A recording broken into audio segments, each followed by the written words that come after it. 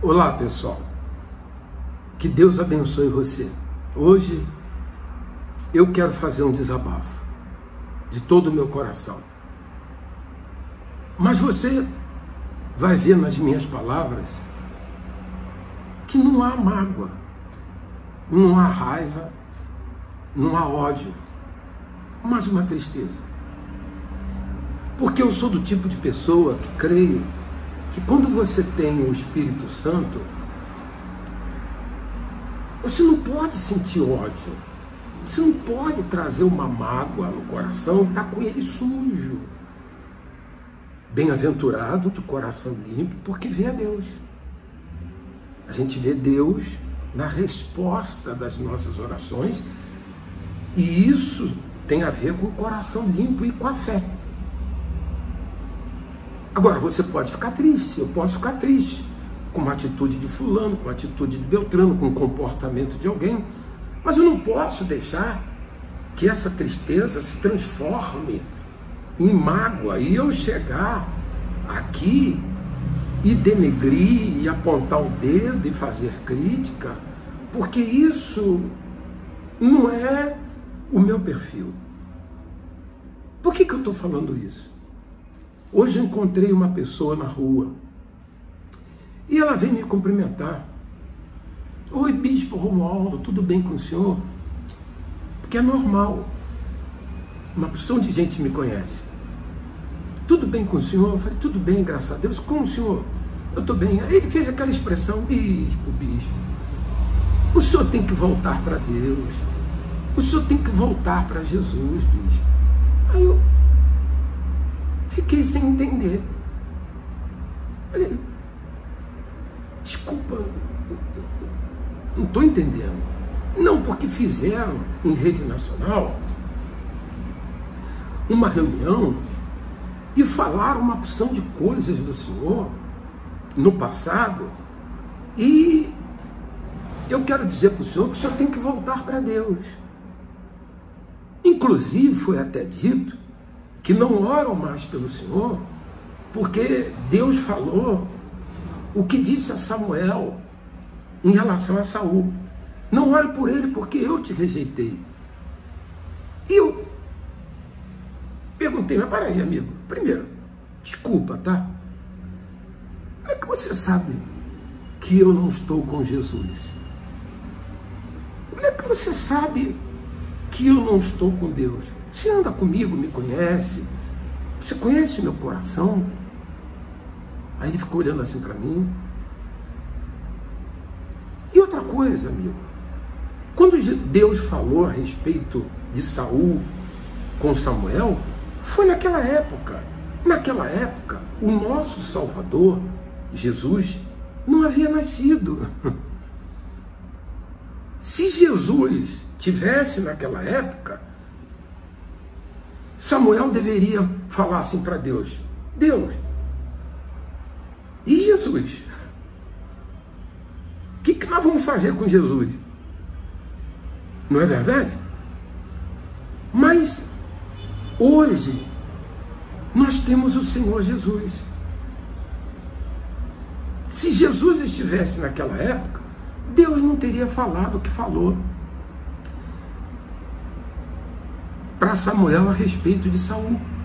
Porque aqui está escrito, no livro de João, capítulo 6, e eu comentei, ele diz assim, ó, todo aquele que meu pai me enviou, esse virá a mim. E o que vem a mim, de modo algum o lançarei fora. Porque eu desci do céu não para fazer a minha própria vontade, e sim a vontade daquele que me enviou. Eu falei, amigo, aqui está escrito que Jesus falou que aquele que for a ele, de maneira nenhuma, ele lançará fora, amigo. Ou a gente não acredita nisso? Quer dizer que eu vou a Jesus e Jesus vai apontar o, o dedo, meus erros, e dizer: não, acredito nisso. Se eu for a Ele, me humilhar, arrependido, fala, meu Deus, me perdoa. misericórdia de mim. Me ajuda. Meu Deus, será que Jesus vai fazer comigo o que os homens têm, têm por hábito de fazer com os outros? Virar as costas, dizer não, cruzar os braços? Para aí, que Deus é esse, meu Deus, que se prega por aí? Que Jesus é esse que se prega por aí? Não o Deus que eu creio, é esse Jesus aqui. Que independentemente do que a pessoa fez ou deixou de fazer, for a Ele, Ele de modo algum vai lançar fora. Agora, você cometeu um erro e ir até Ele e dizer, meu Deus, tem compaixão, é uma coisa. Você viver na prática do erro é completamente diferente. Completamente diferente. E outra coisa, ninguém pode se considerar perfeito. Porque todo mundo falha. O problema é que é muito mais fácil, com medo, porque sabe da ameaça que a gente é. É verdade. De você falar de pecados, disso, daquilo, daquilo, de falar de outros pecadinhos cometidos para se, se manter limpo. E isso é a pura verdade. Então, eu penso, meu Deus, eu conheço centenas de pessoas que, nesses 40 anos, estiveram na instituição ou em uma instituição, meu Deus, se por algum motivo, por alguma razão, se afastaram, que não convém aqui citar, não cabe a mim julgar fulano, beltrano e ciclano, motivos pessoais, outros tipos de problema, insatisfação, saíram. Agora eu pergunto, meu Deus, essas pessoas estão no inferno? Quer dizer que a gente tem que olhar elas com maus olhos? Ou procurar vê-las com bons olhos e fazer o que Jesus pediu que fizesse, ir atrás dela, colocá-la no ombro e levá-la para o aprisco. O problema é que é muito mais fácil julgar, condenar, do que tentar ajudar. E com, rece... e com respeito e com, com sinceridade, a impressão que está é que tem medo de alguma coisa. E não é a primeira pessoa que faz isso comigo. Não é a segunda pessoa que faz isso comigo. Poxa, pelo amor de Deus. Eu falei, amigo, eu estou abrindo uma igreja lá no Rio, Deus vai abençoar. Ele falou assim: não, eu sou dessa igreja, mas amigo, eu não estou te chamando para você para minha igreja. Qual foi o dia que eu usei as minhas redes sociais para dizer, você de tal, você dali, você de lá, você daqui, venha para a igreja que eu vou abrir ou para a igreja que a gente tem? Qual foi o dia? Porque tem muita alma para ser ganha, meu Deus. Então, mais uma vez, eu peço, por favor, pelo amor do nome de Jesus, não julga não, não condena não, ore por mim. Então ore por mim. Peça a Deus por mim. Eu estou pedindo a você, peça a Deus por mim.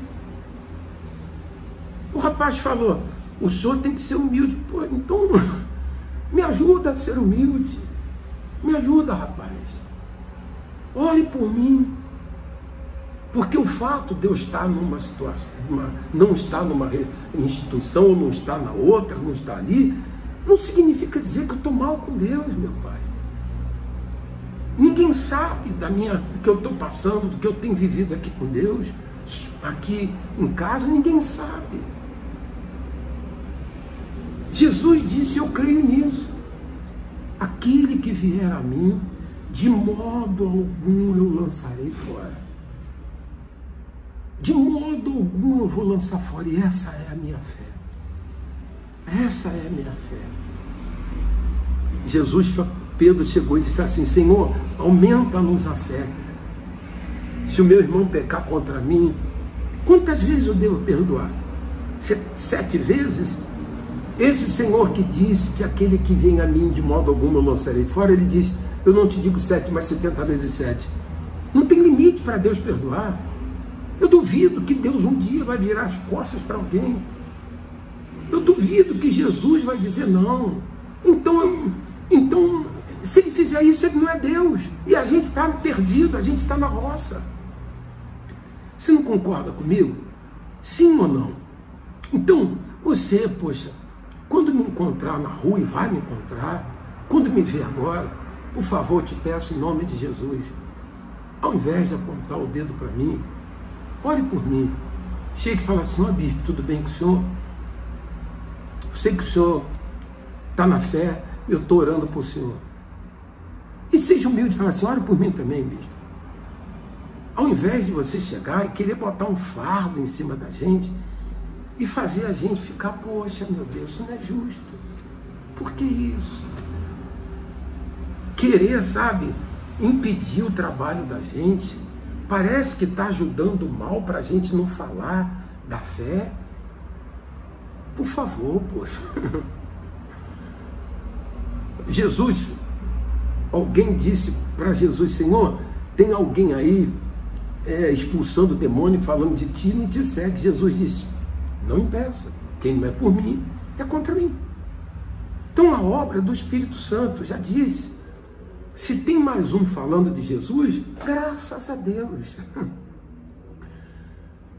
Se está falando mal ou bem, errado ou não, não compete a ninguém. A obra é do Espírito Santo. Ele que vai dar o veredito, o parecer. Se há sinceridade, ele vai honrar. Por favor, para com isso. Porque entristece a gente. Não, não me traz mal. Entristece a gente. Parece mais medo, sabia? Da gente chegar a um determinado lugar. Parece que não querem. Poxa, olha, nós estamos para abrir a igreja no Rio. Quer me ajudar? Que Deus toque no seu coração. Vou dobrar meus joelhos agora e vou orar por você. E eu tenho orado por todos. Todos, sem exceção. Até porque você pensa, imagina que eu não tenho orado, eu tenho orado. Ainda que não orem por mim, mas eu oro por todos. Eu vou orar agora, se você quiser ajudar, está aí o Pix, dá a sua oferta, seu dízimo. Que o Espírito Santo te abençoe em nome de Jesus e tenha misericórdia de mim.